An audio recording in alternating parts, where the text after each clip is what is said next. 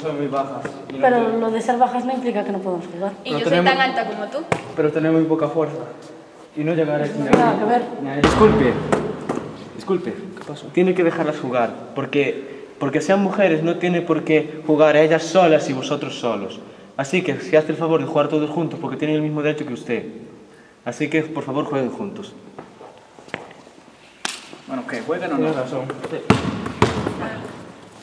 Então, cara, vai. A outra.